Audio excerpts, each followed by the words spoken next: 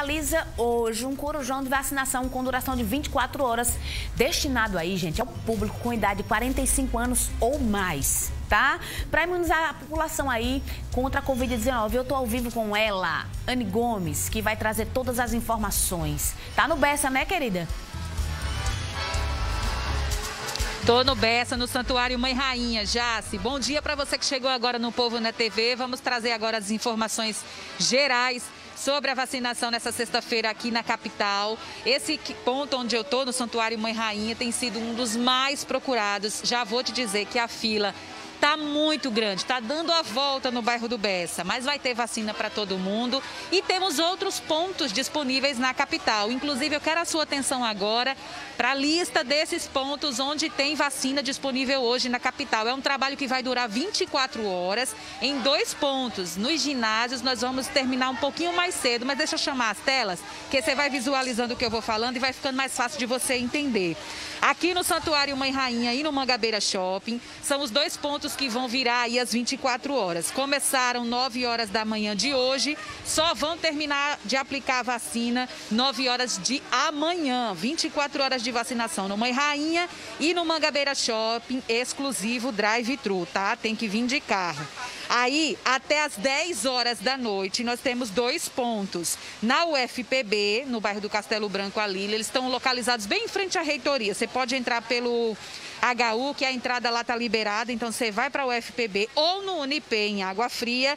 Esses dois pontos também para drive vão estar funcionando até às 10 horas da noite.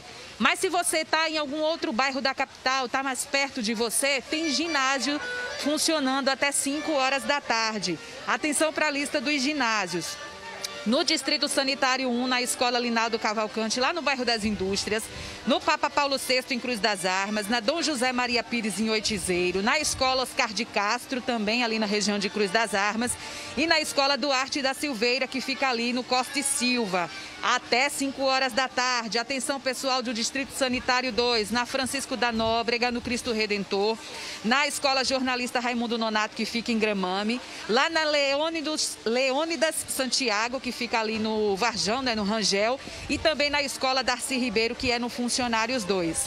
No Distrito Sanitário 3, nós temos a Escola Dom Helder Câmara, no Valentina, o Centro Cultural lá de Mangabeira, a Escola Radegundes Feitosa, no José Américo, e a Professor Afonso Pereira da Silva, que é no Cidade Verde, também ali na região de Mangabeira. Atenção, você do Distrito Sanitário 4, tem vacina até 5 horas da tarde no Ivan Cantizani, em Tambiá, na Escola Violeta Formiga, em Mandacaru, na, na José Peregrino de Carvalho, que é na Ilha do Bispo, e no IFPB, em Jaguaribe.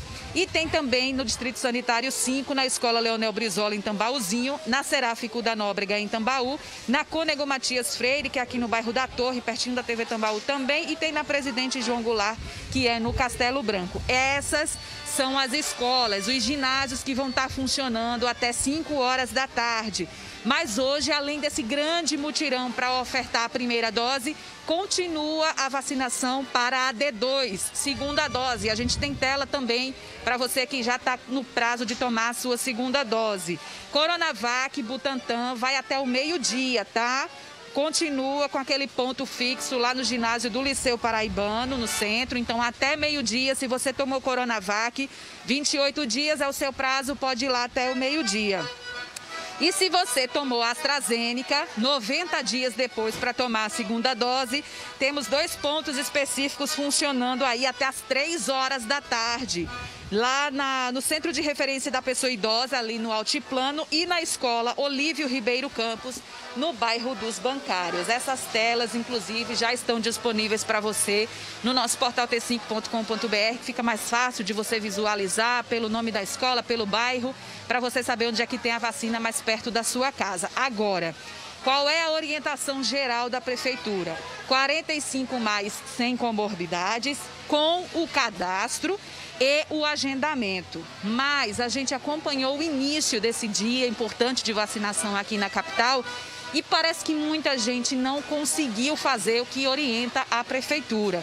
João Tiago esteve hoje mais cedo em um desses pontos e pôde é, acompanhar esse relato vindo de várias pessoas. Gente que foi, fez tudo como orientou aí o pessoal da Secretaria de Saúde, mas não conseguiu aí sucesso na vacinação. Então vamos acompanhar como é que foi o início da vacinação hoje na reportagem do João Tiago. Olha, Jaceline, chegaram novas vacinas, né? A gente está sabendo aí 102.470 doses de imunizantes sendo distribuídas para a primeira dose. Em toda a Paraíba, são 46.800 da Pfizer para a primeira dose, 33.400 da Coronavac para a primeira dose e 26.550 da Janssen para dose única. No entanto, tem muita gente que está tendo dificuldade para conseguir ter acesso a essas vacinas aqui em João Pessoa por causa dos problemas que a gente já conhece do aplicativo das vacinas. O aplicativo que a prefeitura disponibilizou para agendamento das vacinas. A gente vai conversar com o Reinaldo. O Reinaldo está há quase 30 dias tentando aí ter acesso à sua vacina. Reinaldo tem 55 anos de idade, estava me contando que tem várias comorbidades que facilitariam o seu acesso à vacina e, no entanto, você não está conseguindo ser vacinado, né? Sim. É, faz mais de 30 dias, na realidade, que eu venho tentando. Minha filha já fez plantão até pela madrugada, ver se consegue agendar, não consegue. E eu tive aqui segunda-feira, né? E estavam aplicando a segunda dose. A moça falou para eu vir, quando começasse a aplicar novamente a primeira dose, para eu vir aqui e ela ia ver se conseguia vacinar. Cheguei aqui hoje, é, fui um dos primeiros. É... Seis horas da manhã você já estava aqui no IFPB, né? Já estava aqui no IFPB. Então entrei agora é, para a moça responsável me dizer que infelizmente não tem como me vacinar sem agendar. Aí a pessoa fica numa situação de impotência, porque eu não sei mais a quem recorrer. Não tem quem recorrer não, porque eu acho que isso é um, uma falta de respeito até com, a, com o público. O Reinaldo não é o único que está enfrentando isso. Catarina, Catarina está tá tentando isso, vaga para Francisca, né? Isso. Me explica como é, me explica como é que está essa situação para Francisca. É, tá muito ruim. Por quê? Porque abriu a vaga para ela na sexta-feira de 48 mais. Desde sexta-feira eu venho tentando todos os horários. Inclusive eu tenho prints aqui de 7 horas da, da noite, de 4 horas da tarde, todos os horários. E até agora nada. E também aqui não tem nenhuma pessoa para ajudar a gente na parte desse agendamento. Aí como é que a gente fica? Que é um direito da gente entendeu? Eu não estou tomando vaga de ninguém. É um direito dela, pela idade eu sou dela. cuidadora do pai dela, né? Eu sou Francisca. Eu sou cuidadora do pai dela, né? Então já era para ter tomado a minha. Além de, de já estar na idade, ainda é cuidadora de idoso. É, de um idoso É. de 87 Então anos. estou nos meus direitos, né? Não estou passando em frente de ninguém, estou em cima dos meus direitos, né? Estou atrás da minha dose também. Confiado em Jesus eu vou conseguir. A gente confia que vai conseguir, que vai se resolver esse problema do sistema. A gente sabe que neste final de semana vai haver uma grande mobilização para vacinação em toda a cidade de João Pessoa. Tem pontos que vão ficar abertos durante a madrugada para justamente disponibilizar a vacina para toda a população que já é público-alvo, ou, ou seja, a partir de 45 anos, com ou sem comorbidades. Aqui no IFPB, logo cedo, olha só, a gente já tem uma fila grande, o pessoal esperando para ser vacinado, esperando pela chance de ser imunizado contra o novo coronavírus, um problema que a gente enfrenta todos os dias e que aqui a gente está vendo no início de uma solução. A gente espera que no sistema também do aplicativo a gente consiga encontrar uma solução para as pessoas como a Francisca, como o Reinaldo, tanta gente que tenta fazer esse uso do aplicativo e não consegue. Um relato que a gente vê constantemente acontecendo na cidade de João Pessoa. Com vocês. Tá aí então a reportagem do João Tiago, colocando inclusive né, o relato da população e eu, eu quero até me solidarizar com todos vocês. Eu passei por esse processo, né? De tentar agendar, de não ter, de ir em busca da vacina, dar uma viagem perdida. Infelizmente, é, faz um pouco de parte desse grande momento que a gente está vivendo. A gente pede só um pouco mais de compreensão, porque a gente vai conseguir sim vacinar todo mundo e sanar todas essas questões. Deixa eu trazer para vocês uma situação de momento que eu estou aqui vivenciando nesse ponto de drive. É, para você que chegou agora, a gente está aqui no Santuário Mãe Rainha. Eu quero dizer para vocês que a fila está muito grande, tá? Lá do lado de fora, inclusive, toda essa região do Santuário Mãe Rainha está sendo monitorada pelos agentes da CEMOB, estão disciplinando o trânsito. O Magno, inclusive, vai mostrar para vocês ó, que a fila que chega aqui, ela está aí circulando boa parte do bairro do Bessa, no entorno do santuário. Mas a vacinação está muito rápida, tá? Temos muitas equipes aqui fazendo o cadastro, preenchendo né, o cartãozinho da vacinação. E quando a pessoa chega aqui, a vacinação mesmo ela acontece muito rapidamente. Reforçar, é ponto de drive, tá, gente? Algumas pessoas tiveram problemas mecânicos no carro. Eu conversei aqui com uma senhora que passou três horas aguardando e quando ela estava próxima aqui, teve um problema mecânico no carro, ela ficou angustiada porque ficou com medo de não tomar a vacina. O pessoal da secretaria está sensível a, algumas situações, mas a orientação geral é que você busque especificamente de acordo com o que está indicado para o dia de hoje. Então, esse ponto aqui é drive-thru, temos os ginásios até 5 horas da tarde e essa é a orientação geral para que tudo possa fluir da melhor maneira possível para todas as pessoas. Com a imagem da vacina, eu quero inclusive dizer a vocês que nós fomos em busca de algumas respostas, sim, com a prefeitura tá? Hoje mais cedo eu estive lá na Secretaria de Saúde, conversei com a Aline Grise sobre essa estratégia montada para esse corujão, esse grande momento de 24 horas de imunização para poder aí minimizar todos esses problemas que foram colocados e tentar ofertar a vacina para todo mundo com o menor tipo de problema possível. E a Aline conversou com a gente, trazendo também mais algumas orientações importantes. Então, se você está nessa faixa etária dos 45 mais sem comorbidades e está precisando da vacina para hoje, presta atenção aí nas orientações da Secretaria de Saúde do município. A Aline Grise fala agora com a gente. A vacinação já começou desde as 9 horas da manhã. Vamos ter 24 horas de primeira dose sendo ofertadas para a população, mas muita gente na ansiedade ainda tem algumas dúvidas, já que, por exemplo, tem vacina disponível, então se eu estou no grupo, devo ir de qualquer forma para um desses pontos em busca dessa vacina? Não é exatamente assim. Por isso que a gente vai conversar agora com a Aline Grise para ela detalhar que, apesar de estar agora, Aline, nesse novo grupo, 45 mais sem comorbidades, é importantíssimo que a pessoa só procure essa vacina se ela conseguir fazer cadastro e agendamento. Isso, exatamente. Ontem abrimos o dia de vacinação para a segunda dose, aí a gente abriu para quem é agendado e não agendado.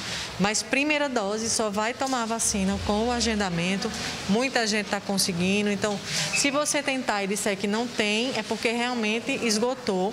Né? Hoje a gente tem um corujão e a gente vai estar tá abrindo mais vagas aí após o almoço e aí você vai tentando fazer o seu agendamento. A orientação é que a pessoa tente ao longo do dia fazer essa atualização do aplicativo e do site para que essas vagas possam aparecer. Isso, exatamente. A gente tem 20 mil vacinas, então vamos dizer que 10 mil conseguiram agendar.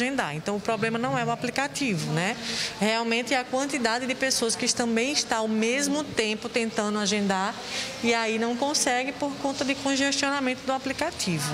Outra informação muito importante, tem que levar os documentos necessários. Não basta apenas comprovar a idade ou comprovar que é morador de João Pessoa. Isso, tem que levar o cartão do SUS de João Pessoa e o comprovante de residência é fundamental e a identidade CPF. Se a pessoa tentar ao longo do dia e não conseguir, já que nós vamos ter aí o madrugadão de oferta de vacina, qual é a orientação da prefeitura? Então, dependendo do porquê que ela não conseguiu agendar, ela pode procurar um ponto de vacinação, mas não para tomar vacina.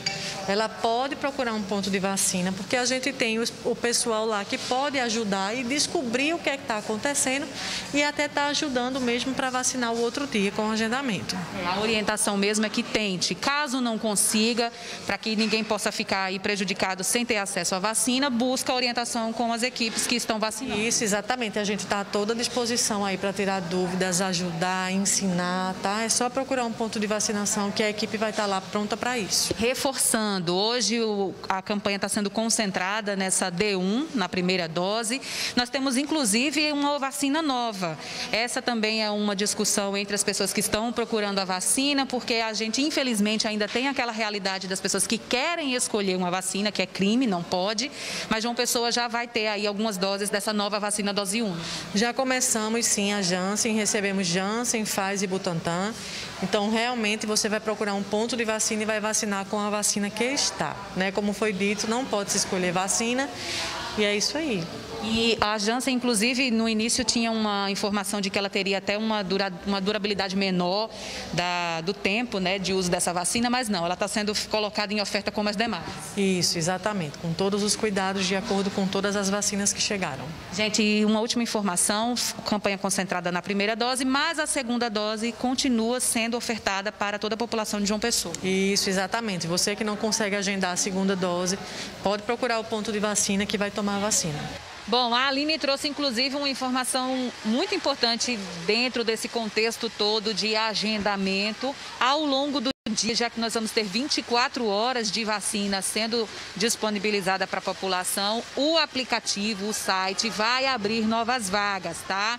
Então fica de olho nesse site Vacina João Pessoa, no aplicativo Vacina João Pessoa, porque sim, a secretaria vai monitorar as doses que estão sendo aplicadas, com a quantidade de doses que ainda tem disponíveis, com a procura das pessoas nos ginásios, nos pontos de vacinação e ao longo do dia outros agendamentos vão aí estar sendo disponibilizados para a população. Essa é a orientação. Se você tiver aí qualquer relato, qualquer problema, pode mandar para a gente que a gente está aqui para tentar te ajudar, viu, Jaci? E por aqui segue a imunização com essa imagem muito bonita. Eu vou devolvendo para você, torcendo para que esse pessoal consiga cumprir a meta aí de ofertar as mais de 20 mil doses de vacinas que estão sendo disponibilizadas para esse dia de hoje e até amanhã para a população de João Pessoa. Jace. A gente vê essas seringas assim, essas agulhas apontadas, fica louca para escorregar o braço também, né? Quem é que não quer, né, se vacinar? Eu saio aqui, Diane, e eu vou direto